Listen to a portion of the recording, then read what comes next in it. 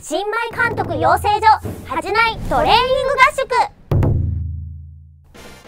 皆さんこんにちは。椎名ゆかり役の船戸ゆりえです。こんにちは。鈴木若役の緑川優美です。はい。新米監督養成所恥じないトレーニング合宿第9回目が始まりました。皆さんこんにちは。ベアマックスコーチだ。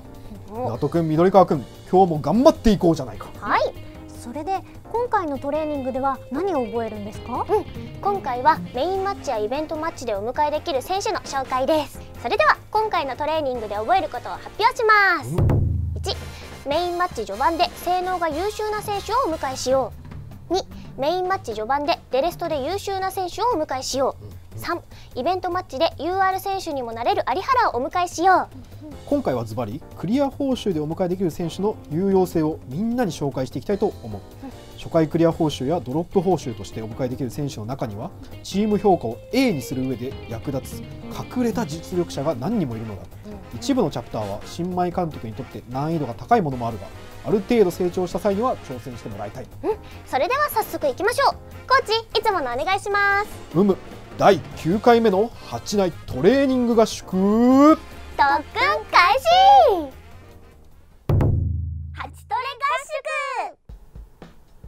まずはメインマッチでお迎えできる性能が優秀な選手の紹介だ。いずれも育成ありきの選手だがしっかり育てればスカウトでお迎えする選手に劣らない優秀な性能になっているぞ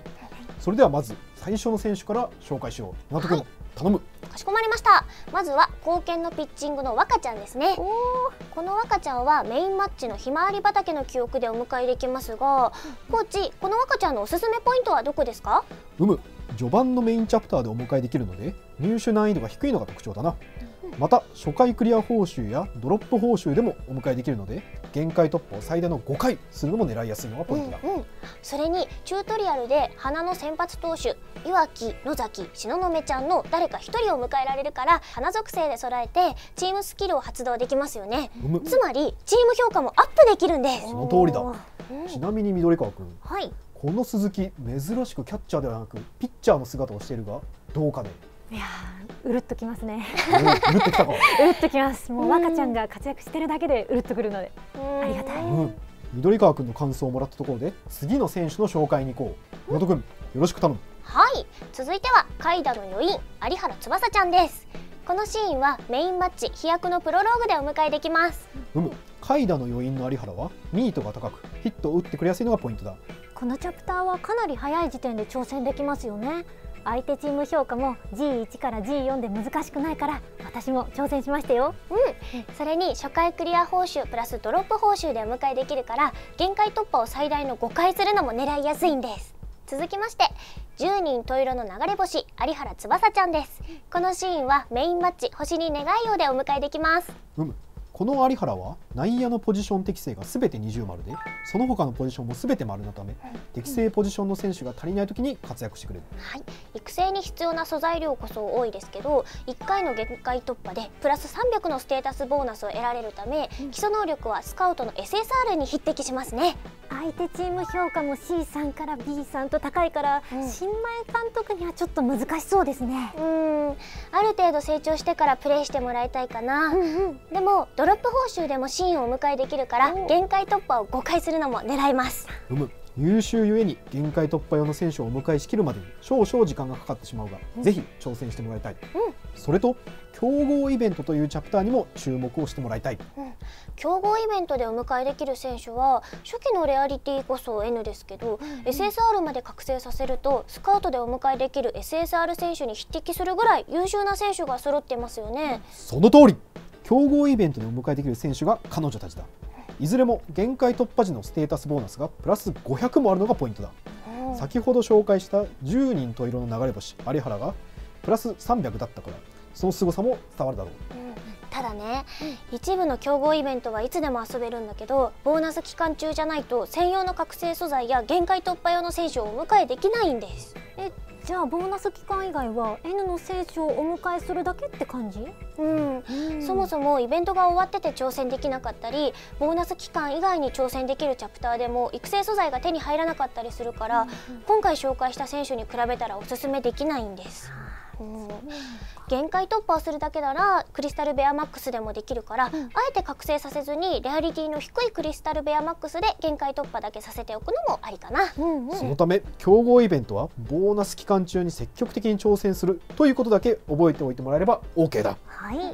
ちなみに競合イベントでお迎えできる選手の中で特におすすめの選手っています？うむ新年の一打泉田なんかは特におすすめの選手だな。おパワーとミートが高く限界突破を上限の5回まできっちりやればスカウトでお迎えする SSR の選手に匹敵する優秀な4番打者になってくれるぞ。うん限界突破をするだけだったらクリスタルベアマックスでもできるからボーナス期間中に覚醒を済ませておいて限界突破をクリスタルベアマックスでするっていうのも一つの手ですね。ハチトレ合宿現在のメインマッチ序盤のチャプターではデレストで活躍してくれる選手がお迎えできるようになった。この機会にぜひ紹介しておきたいと思っているぞ。デレストって選手にスキルを習得させられるモードのことですよね。うむその通りだ。デレストについては今後のトレーニングで紹介していくので今回は紹介する選手とお迎えできるチャプターだけでも覚えておいてもらいたい。ちなみにおすすめのポイントはどんなところなんでしょうか？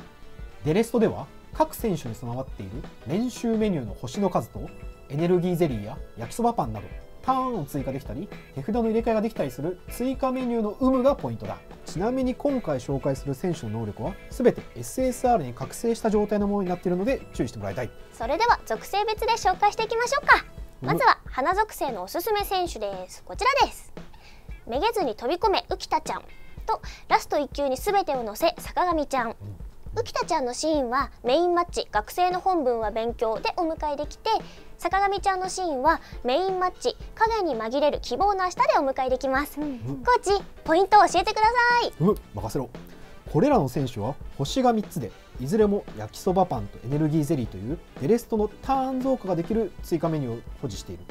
浮田は強力なチームスキルオーバードライブやカイダ爆裂といったチームスキルを発動させられるスキルと才能を保有しているので SR と見くびらずに育成してみてもらいたい。はい、続いては超属性の選手ですね。うん。こちらです。至福の瞬間新田ちゃん。お先に失礼ココちゃん。新田ちゃんのシーンはメインマッチ鉄人からの挑戦状でお迎えできます。うんうん。ココちゃんのシーンはメインマッチ貫き通す意地と夢でお迎えできます。うむこれらの選手も星さんの練習メニューとターン追加ができる追加メニューを保有しているのがポイントだ。特に愛坂は初期 SR 選手としては珍しい星2の焼きそばマヨパンに加え星さんの練習メニューを2つも持っているのが特徴だ。続いては風属性の選手はこちらです。スクープを狙い中野ちゃん奥深きアートの世界天草ちゃんで中野ちゃんは、えーメインマッチお騒がせ記者の登場でお迎えできます、天草ちゃんのシーンはメインマッチ2人が描いた放物線でお迎えできます。この2人のチームも星さんの練習メニューと追加行動が可能なアクションメニューを保持している。最後は月属性の選手です。こちらです。気まぐれの雪遊び浅田ちゃん。入念なストレッチひいらぎちゃん浅田ちゃんのシーンはメインマッチ生徒会への部活申請でお迎えできます、ひいらぎちゃんのシーンはメインマッチ影に紛れる希望の明日でお迎えできます。うむ。これらの選手もこれまで同様星さんの練習メニューとターン追加ができる追加メニューを保有しているのがポイントだ。特にヒイラギは初期 SR 選手としては珍しく追加メニューに星2のエネルギーゼリーと星3の練習メニューを持っているのが特徴になっているこれらの選手はいずれもメインマッチ序盤のクリア報酬でお迎えできる。新米監督のみんなにはしっかり覚えておいてもらいたい。ハチトレ合宿。最後に紹介するのは UR にシンデレラ覚醒が可能な有原ちゃんをお迎えできるイベントマッチ「思いへつながる誓い」ですね。うむこのイベントマッチではステージ1をクリアした時の初回クリア報酬で SSR の有原をお迎えできるのだ、このイベントはいつでも挑戦ができるので自分のチームが成長したら挑戦してみてもらいたい。シンデレラ覚醒に必要な素材が獲得できるチャプターにもいつでも挑戦できるからお迎えした際には一緒に育成をしてもらいたいですね、コーチこの有原ちゃんのポイントはどこでしょうか？この有原は貴重な UR にシンデレラ覚醒が可能になっているので新米監督のみんなにはぜひ挑戦をしてみてもらいたい。おおイベント報酬で SSR の選手がお迎えできてさらに UR にシンデレラ覚醒もできるなんてすごいですね、うん、UR になるとレベル上限が120になったり、うん、調子が普通以下にならなかったり投手野手どちらにも編成できたりなどなど UR ならではの能力が魅力ですよね。ただし以前も話したが UR の選手をオーダーに編成すると同盟選手をオーダーに編成できなくなるんだ、うん、そのため選手が少ない最初のうちは SSR のままオーダーに編成しておくのがいいだろう、ステータス値がバランスよく全て高いので SSR のままでも十分活躍してくれますもんね。UR 選手については今後のトレーニングで詳しく紹介していくぞ。8トレ合宿。というわけで9回目が終わりました。お疲れ様でした今回はねメインマッチ序盤でのおすすめ選手などなどについて説明させていただきましたが、うんうん、うびちゃんどうでした？いやもう序盤といえどこんなに強い選手をお迎えできるなんてもう、やらない手はないなと思いました、本当だよね,、ね。もうね UR の有原ちゃんとかもね超超強いからね、うんうん、もうぜひぜひ新米監督のみんなにはもう絶対にお迎えしてほしいです。です、うん。はいそして次回のトレーニングから初心者から中級者向けの内容になっていきますが何について教えてくれるんですか？うむ。10回目となる次回はチーム評価を A にするために必要なことをまとめて紹介していくぞ、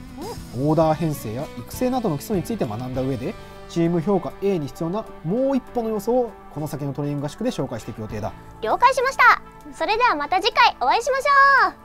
バイバーイトレーニングのおさらい。メインマッチやイベントマッチの報酬には優秀な選手が数多く存在する今回紹介した選手たちは新米監督のみんながチーム評価を上げるよりも役立つのでぜひお迎えしてもらいたい。次回もまた見てくれよな。